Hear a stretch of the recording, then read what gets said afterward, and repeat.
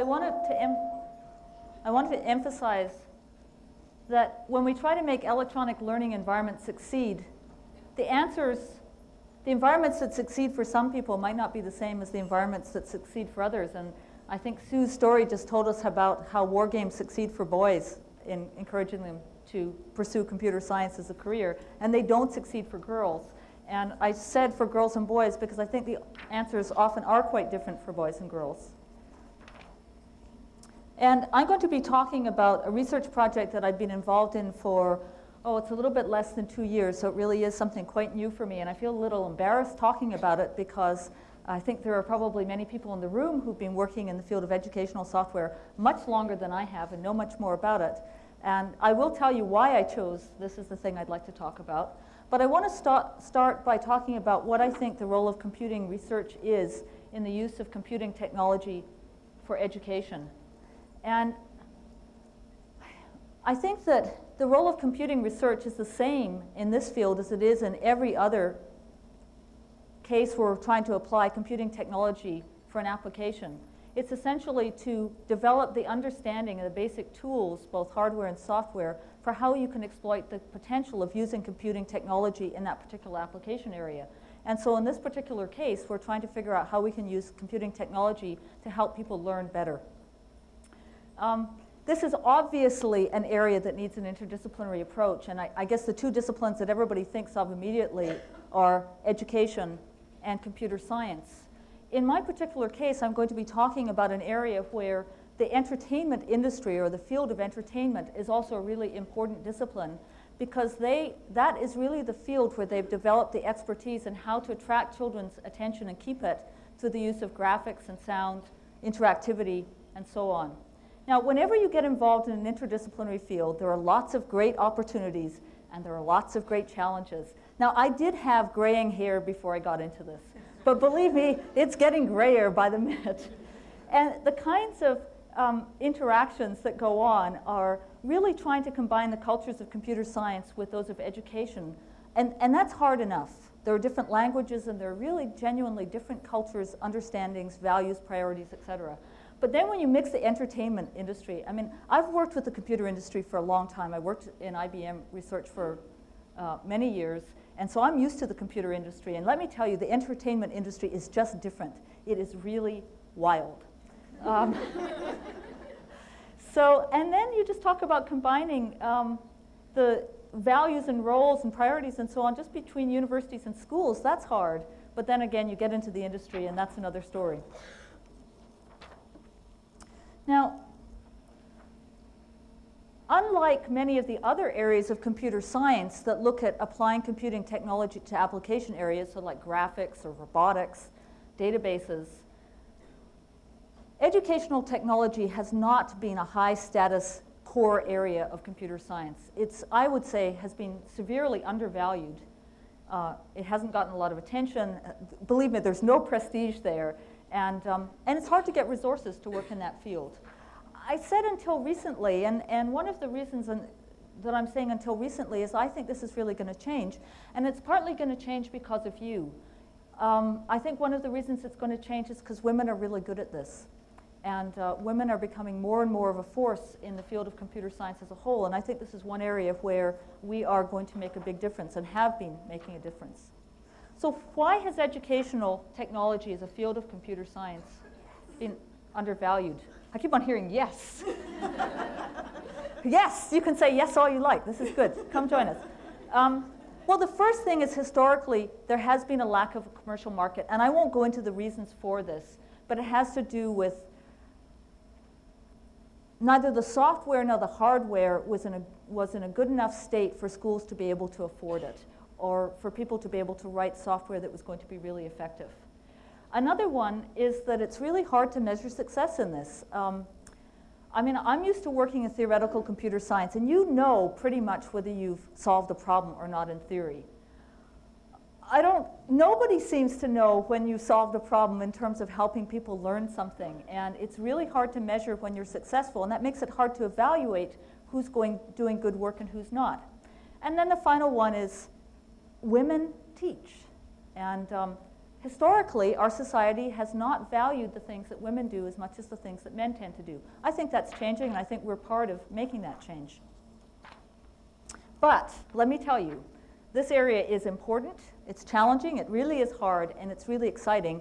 And it's also a lot more easy to give talks to the general public about.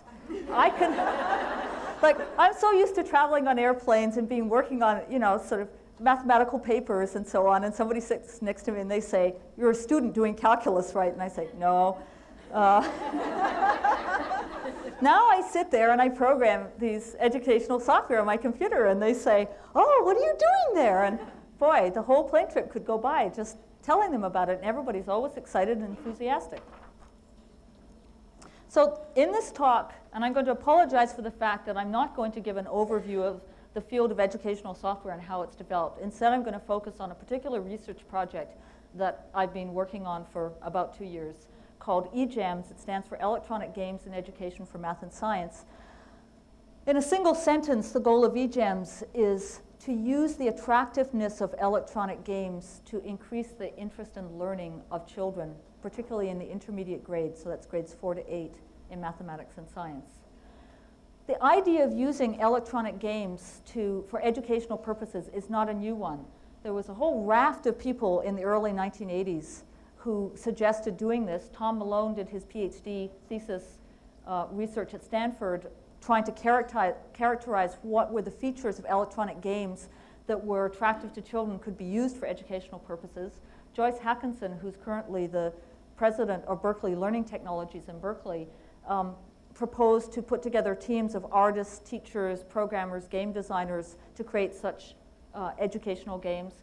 And Doug Super, who at that time was a, a math teacher in the Vancouver area, actually built, I think it's 144 math games um, to support kindergarten through grade eight curriculum in math that were marketed by and are still marketed by Scholastic Press. And the amazing thing is that these are have like the lowest level of graphics and sound you can imagine because they were written in 1981 for the Apple II computer. And they now, Scholastic never upgraded them, but they just ported them to new platforms. They still earn him in annual royalties more money than he earns from his salary. Now, that wouldn't mean much in, in most of the US because teachers are badly paid, but in Canada, teachers are paid as much as university professors. So, I mean, it's a non trivial amount of money. However, I think it really is true that eGEMS is, to my knowledge, the only major project that is trying to combine research and development in much the same type of cycle as Fran Allen talked about and Mary Shaw talked about, um, and really is bringing together, hopefully, all of the different elements and disciplines that need to work together to make it work. So why am I talking about eGEMS instead of talking about what I usually talk about, which is theoretical computer science? And I just put up some of the topics that I would normally give talks about. It's certainly not what I've known for. Well, there's lots of possible reasons. Um, one is could be more fun, at least more fun for you. Um, actually, I love giving theory talks, so um, might be more fun for me giving a theory talk, and, and you might even enjoy it. And given that Shafi is pregnant and can't come, maybe I should have given the theory talk. Um, more important, well, I actually think that the theory of computer science is an incredibly important area. So in no way do I want to imply that that's not something that people should be working on. But I do believe that right at the moment there, and for the foreseeable future, that being, you know, two years or something, um, there are going to be more job opportunities in the field of educational software. And it is definitely true that as a field of computer science, it needs more attention. Um, it's also the case that um, we were asked to emphasize what we think the core research areas of the future are going to be. I think this is one of them. And then there's the other thing that over the last couple of years I've spent a huge amount of time on this project, and so it's a natural thing to talk about. So um, somebody, and I can't remember who it was, was it Telle or was it Barbara, said, gee, I wish people would spend more time talking about their personal um, experiences and how they got here. And uh, so I'm going to talk to you about the road to eGEMS. it was a long and circuitous route. now, I mean, how many people have already traced the path that gets through there? One of the one of the interesting things about the maze, I drew it on the plane coming out here, is that in fact are, this is one of these things where there's more than one route that gets you to eGEMS, which is the way life is. So um, I'm going to start by talking about uh, what I dreamed about doing 30 years ago when I was 12 years old. Actually, it's going to be 31 in another month. Um, the things I really loved at that point were mathematics, art, and building things. And I was going to be an engineer and an artist, a professional artist, both. And I thought I'd be an architect as well because that sort of mixed them together. Sounded good to me. You know, I had great parents. They had four girls, so they really lacked a son. So I just was the default son. And so nobody ever told me I couldn't do anything. Uh, well, that kind of anything. I want to tell you that the only person who has had a wilder life than me that I know of that is a computer scientist is Anita, which most of you, well, maybe Barbara, but. All right, I'm going to shut up about this. When I, when I got to university, um, I was signed up for first year engineering, and three days before classes start, somebody told me that the math classes for the, in the honors math program, which were different from those in the engineering program, were much more challenging, much better. So I immediately switched to honors math. And uh, so that was it for engineering. Um, I continued to take fine arts courses. I mean, art is something I, I really was very serious about and am very serious about. Um, but I was told, I mean, it was certainly the belief then, and, and it remains the belief to a certain extent today, that if you're going to be a, a successful mathematician, you're going to do your best research in your early years. That's bullshit. Um, and if I had time, I would tell you the story about this wonderful woman called Rachel Rue who has just enrolled to do a second PhD in mathematics. She has her PhD in philosophy. She's never taken any university mathematics, and she's about to start a PhD in mathematics because she's just solved an outstanding problem in combinatorics. And it's clear she has this incredible talent in mathematics, and she's 35 years old. All right? So but in any case, that was the belief at that point, and I thought, I'll become an artist. I'll keep on doing art, but I'll be a serious artist when I'm old, like over 40. I'm over 40 now. I'm more serious about art. Um, when I finished my PhD in mathematics, the job market in mathematics was really awful. Um, I did get a tenure track job at a not so great university. I went there, I taught, and I hated it. And uh, I found out that there were great, the job market in computer science was fantastic. And I just said, that's it. I'm going to do a second PhD in computer science. Enough of this nonsense of being in a department I really don't like and living in a place I don't like. I'm going to go and I'm going to get a great job. So I went back to, um, to university, the University of Toronto, and I started cramming all the computer science I possibly could. And um, my art sort of got smaller. there wasn't a lot of time for it. But of course, I still wanted to do research in mathematics. And sure enough, after a year, there were job offers. I mean, I just couldn't believe how my life changed. So there's a moral here. The world is changing very fast, and the needs of the world are changing very fast. And virtually every one of us is going to end up changing what we do. Mary Shaw talked about this, and I think many of the speakers, if they were to talk about this part of the life, would talk about the fact that their research interests and their jobs have changed several times, and they will continue to change.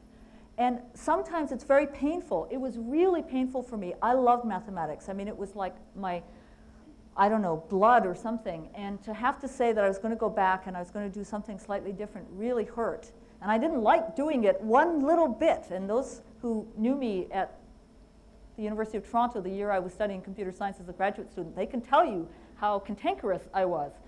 Um, it was a wonderful thing for me. I was forced to do this. And I think that if you can, when these things happen to you, and perhaps when you finish your training, the jobs aren't out there that you expected, and you have to change yourself a bit and look for what society needs, and try to sort of take the bits that you love to do and blend that with what's really needed, that's a really great opportunity for growth. Reach out for it and embrace it. I didn't. I complained. but being dragged, kicking and screaming into it, I um, benefited. Well, uh, next in my life came. and you can see art got really small. and, you know, math, I mean, I was, um, my mother as you know, had four children. And uh, I watched what happened to her. She was a, an economist.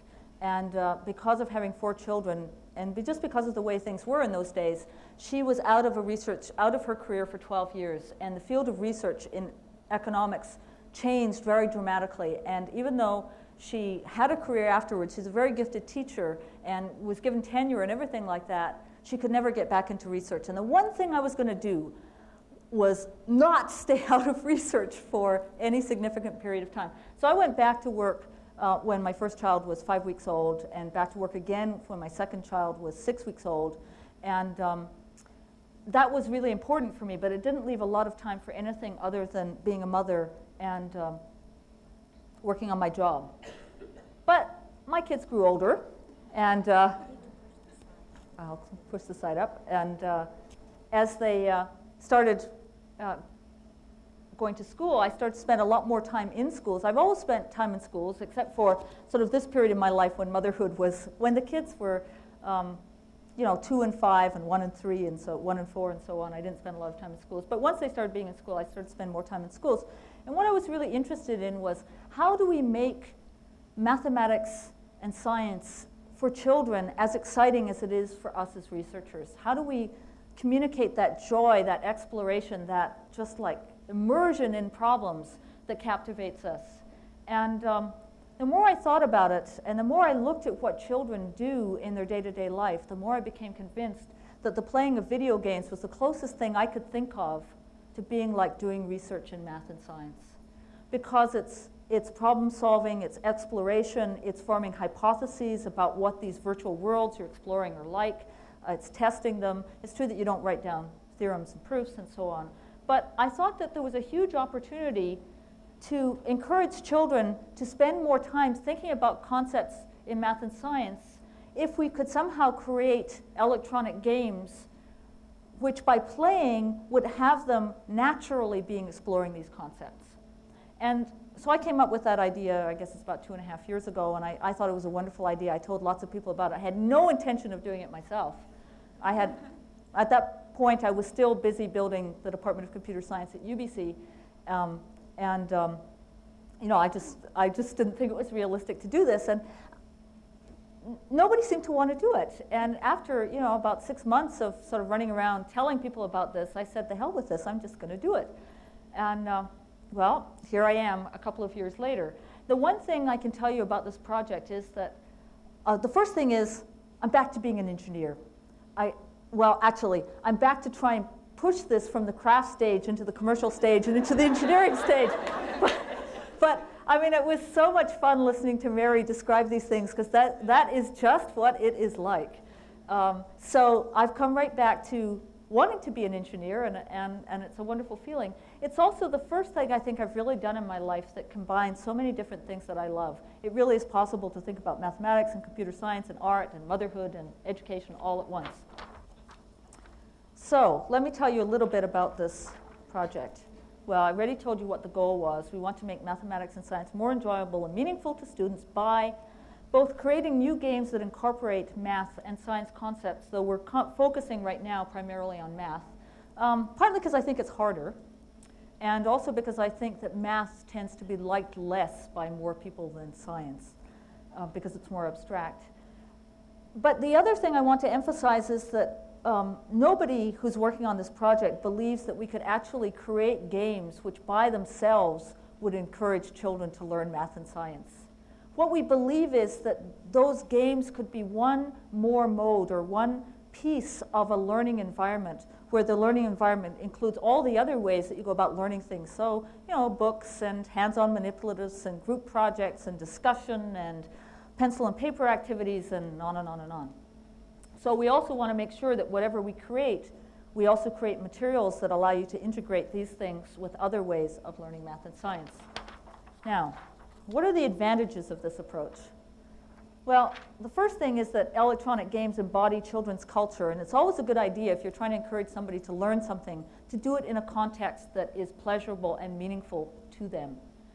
The other, another great advantage is that if you look at the way math is taught, and I'll just ask you, how many people have children oh, in grades, kindergarten through grade four at this point, or, or, or under grade four, okay? And how many people in middle school, like grades four to grade eight?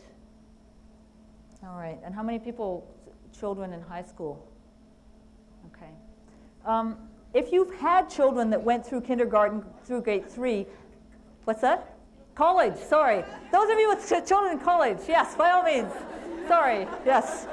Well, if you've been through this, oh, graduate students, professionals,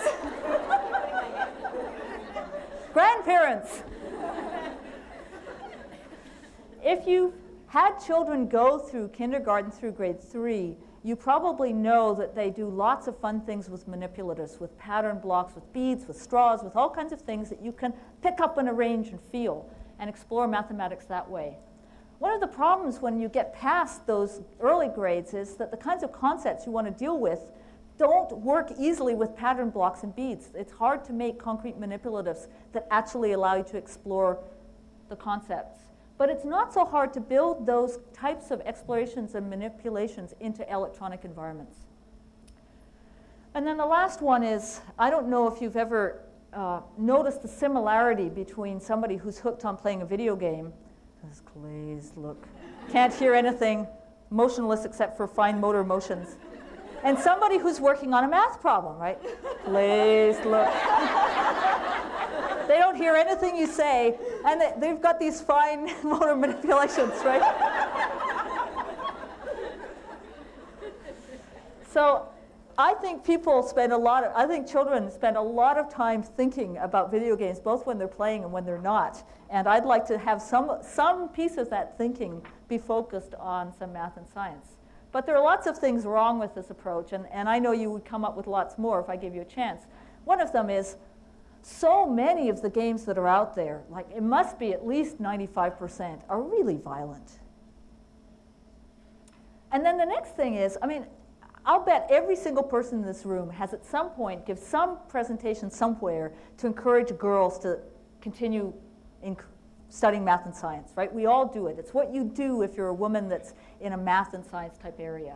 Well, the last thing I want to do is create one more way of encouraging children to learn math and science that's better with works better with boys than girls. I mean, that just seems really counterproductive. And yet, in general, electronic games that are out there are less attractive to girls than to boys. Could have something to do with the first point. And then mind numbing. Personally, I don't believe that playing electronic games is a mind numbing experience, but an awful lot of parents and teachers do. And so, just the whole idea of using video games or electronic games for an educational purpose is something that, that really scares a lot of parents and teachers. And so that's an issue. But even if these weren't problems, I mean, this really, I think, sounds, you know, this whole idea is such a great idea. I can't imagine why anybody would argue with it, except that nobody really knows how to do it. I mean, you can talk about the fact that many children like to play electronic games. You can talk about the fact that you could put educational things into the electronic games but actually making it work in a way that keeps the game still being fun and accomplishes, accomplishes your educational goals, that is very hard to do. So when something's hard to do, that's great. That's a challenge. That's an opportunity for research. So what are the kinds of research issues that are out there? Well, the first one is what can people, and, and I guess one of the things I want to stress here is I'm talking, and the and main focus of my project is looking at children, but, and it's looking at electronic games. But in reality, we're looking much more generally. These issues apply to electronic learning environments that could be used for in college environments, for lifelong learning, for senior citizens, for job retraining, for all these kinds of things. These issues are out there. So what can people learn in electronic environments? Um, they're pretty good as flashcards. They're good for learning your multiplication tables. Okay, well, good. Facts, skills, things like that. But can you really learn concepts? Can you increase your understanding of concepts? I don't think we really know that. And even if we did know that, there are many issues about how you actually design software to accomplish these goals and then how you use it. So just making something fun and still educational is tough. Um, children and adults like to play games in different ways. Different people like to play different kinds of games. Different people like to learn in different ways. how do you create software that accomplishes combining those particular goals? And then how do you make sure that whatever they learn transfers to other contexts? Well, we're trying to answer these questions. We put together a team that includes researchers in computer science, education, mathematics, psychology, curriculum developers, teachers, children, parents, and perhaps most importantly, professional game designers. Because believe me, designing games is a very non-trivial thing. It involves art, storylines, characterization, sound, uh, programming, goes on and on, user interfaces, goes on and on. And in terms of who's actually involved, it's a number of universities in both Canada and the US, um, Curriculum Development Center, and the main um, uh, professional game design uh, partner is Electronic Arts, which is the largest publisher of electronic games in North America. So what have we actually done in the time we've been doing this? And I, if you have ever chosen to work in an area, I didn't understand this when I chose this, and maybe I would have thought twice about it if I had, that the media is interested in. The amount of time you spend talking to reporters is just unbelievable. Uh, not to mention the number of people who decide that they really need you for some film they're doing on educational technology. Well, first thing we did was we did a literature search to find out what was known about children with electronic games. Given the number of electronic game systems that are out there in the homes of children today, there's, I, the last count was 80 million units in the US, 80 million. That's um, probably one per household, probably more than one per household uh, there's an incredibly small amount known. So the very first thing we did was actually just study children in an electronic environment. We also developed a number of small prototype games, and this is the cycle of you build something, you try it with children, you change it, you build it again, you try to analyze what's working, what's not working, and you do it over and over again. And then another part that's been very important to us is we've actually worked on a commercial product that is a math CD-ROM game that will be out in the fall. And this is one of these things where we're trying to combine basic research with very applied research with actually working with the team on product development. And I have to say, as a theoretician, I am so much better educated now about the complexities that go on in, in really doing practical software development and, and thinking about marketing issues and so on than I was before. I thoroughly recommend, at least once in your life, do this. You will be wiser and grayer. So I'm just going to talk very briefly about, seeing I have two minutes left before we get to questions, about research results from our first study. I'll, I'll just say that if you're interested in hearing more about this, there is a workshop on Saturday at 3, and uh, a number of people will be talking about things in more detail. The first thing we did was we set up a study in a science museum where for two months we watched children play games on four platforms, a Mac, a PC, a Sega Genesis, and a Super Nintendo system. We'd pick a set of four games that ranged from educational to entertainment, keep them there for a week. We had as eight hours a day, seven days a week, two or three people doing, taking field notes, doing interviews, audio taping, doing some videotaping, and counting how many children every 15 minutes were where, and particularly looking at gender issues. So what did we find out from this two months? We looked at over 10,000 children, so it's a lot of children. First of all, girls and boys are similar in some ways. They both really like electronic games. They both enjoyed using them collaboratively, and uniformly they believed that they didn't learn anything while they were playing video games. But they probably, they thought they probably did learn something while they were playing computer games, even if it was the same game.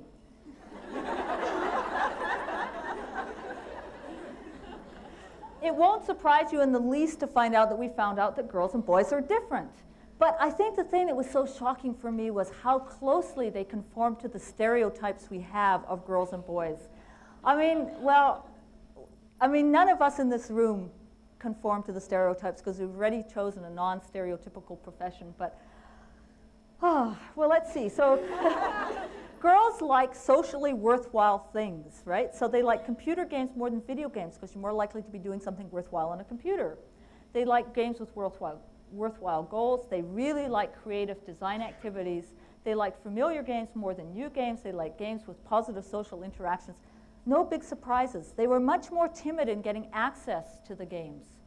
Um, boys liked, well, video games more than computer games. They like entertainment. Boy, did they like to have fun. They like fast action adventure games. They like new games as much as familiar ones. They like violence, but violence wasn't as important to them as perhaps the popular media would have you believe. They enjoyed it, but they didn't necessarily think it was the only important thing in a game. That's good to know, yes. Um, I'll just very briefly tell you a little bit about the other kinds of things we've done. We took the issue of collaborative play, and um, this will be talked about quite a bit more on Saturday, and looked at 104 students in grades 4 to 6 playing an electronic game called The Incredible Machine that they've never played before, and tried to find out whether playing with a partner, either sharing a computer or having two separate computers, would cause you to get further in this game. This is a puzzle solving game. And the, what we found quite surprising out of this, that there was only one playing config configuration. We had equal numbers of boy-boy pairs, boy-girl pairs, and girl-girl pairs, and also solo playing. The only one that did worse than the others that was statistically significant was two girls on two separate computers. And the easy way to say it is that they goofed off. When they shared a computer or when they wasn't two girls with separate computers, they were focused on their task and they did just as well as anybody else. When they had two separate computers, they goofed around. Well, I don't have a chance to really spend time on telling you about the math games we've been doing. Um, I really believe that of the things that I've tried to do in my life, this is probably the one that's most important. It's also the one that I have the greatest fear of failure. And so I'd like to close by saying that one of the things I've tried to follow in my life is to try things that I know there's a chance I won't succeed at. Now, my fear of failure here is that it's a very hard problem, and we could work for five years and not really understand how to do this well. And yet, I think it's an important problem, and it's worth dedicating a huge chunk of my life for the next five years to really try and make progress. So, it hurts to fail. I've tried lots of other things in my life at which I have failed. And then I've tried some other things in my life at which things have worked out better. But I'd like to encourage people to be willing to sort of say, I'm going to take a mix of the things that I'm pretty sure I can succeed at and things that I'm pretty sure I won't succeed at, but which I think are really important, and to try and combine those together because that's the way that I think you really are the most likely to have the most impact on the world around you. And so this is my one for um, I'm going to try. Um, it's hard, it's very frustrating, it's very exciting, and I think it's really important. Thanks.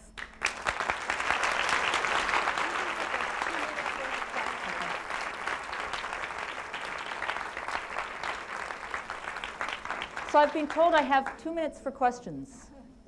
Go for it. One, of the, one of the things my son said to me when he came home from school, probably about fourth or fifth grade, was that he had learned nothing new in math and didn't expect to as long as he stayed in that school, which was through eighth grade. Um, from what he had heard, they were going to learn nothing new. Um, one of my concerns is that in math education, we need to be prepared for the kids who learn about negative numbers and multiplication and all the things they will learn at these ages fairly easily and build things that will in fact allow them to go beyond that and not be bored by math and science by second or third grade. Have you had a chance to think about that at all? Um, yeah, my son feels exactly the same way. so I've been through this. And uh, I think one of, I mean, one of the things that we're trying to do is to create activities that are open-ended enough that there are opportunities for children to explore much more interesting things if they're already past learning about negative numbers and fractions and, and geometric shapes and so on. But it's a very good question, and I think one of the problems about our math curriculum is it cycles right now, and so if you learned about negative numbers and addition, multiplication, division, subtraction in grade three, there is nothing much else that you get exposed to before grade eight. So it's, it's a good point. Yes?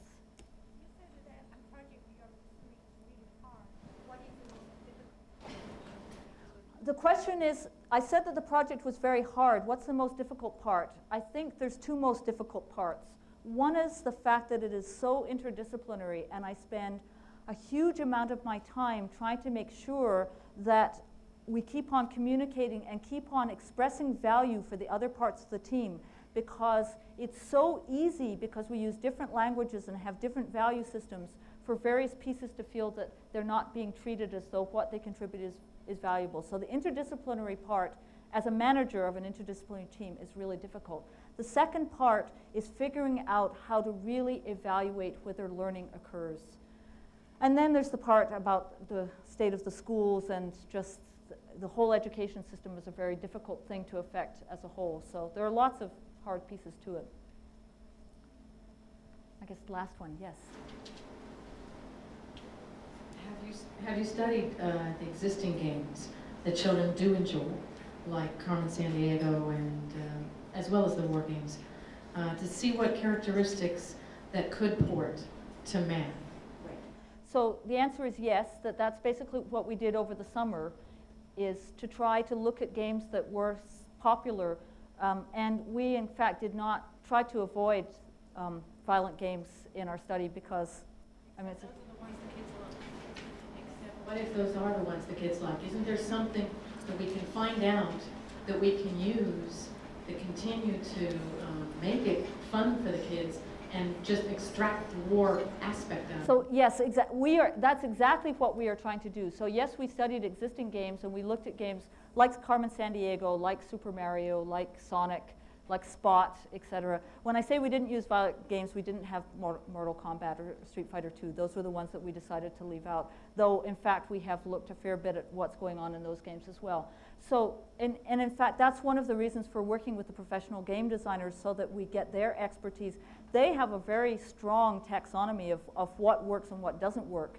So that's one of the reasons for having them as part of the team. Thank you.